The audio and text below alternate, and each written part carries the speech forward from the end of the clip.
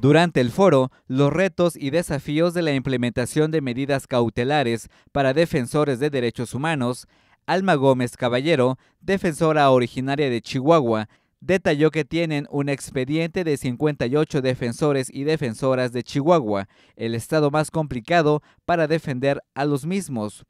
Dijo que hoy en día no basta con dictar medidas cautelares, sino más bien es necesario dar seguimiento, llevar un registro y aplicarlas.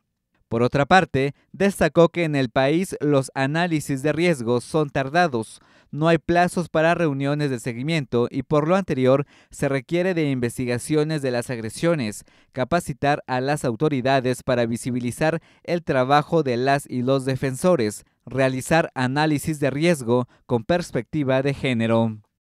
Primero, no hay coordinación entre las autoridades federales y estatales para este, definir cuáles son las competencias de cada uno. Este, no hay disposiciones claras y los grandes ausentes son las autoridades municipales. Y regularmente a quien tenemos más cerca, pues es justo a la autoridad municipal. Mientras tanto, Neftalí Reyes Méndez, representante de Educa, refirió que en Oaxaca no se respetan los mecanismos de protección para defensores, lo que representa un riesgo para su trabajo, ya que se ha criminalizado la labor del defensor y más aún en el ámbito comunitario.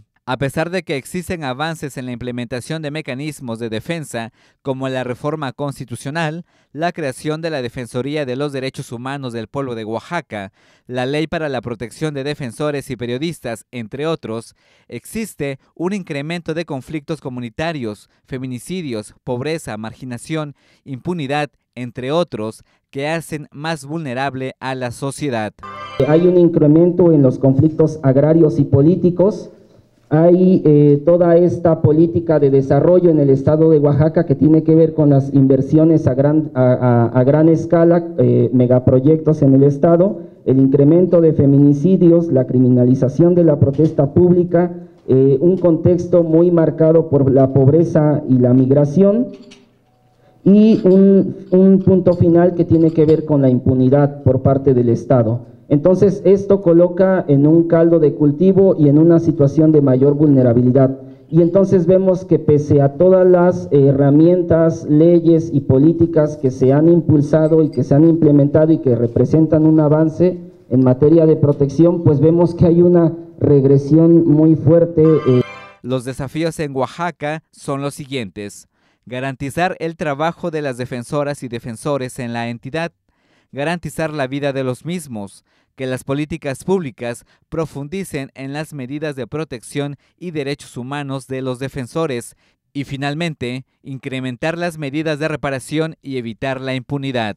Con imágenes de Juan Carlos Chiñas para MBM Televisión, Celestino Chacón.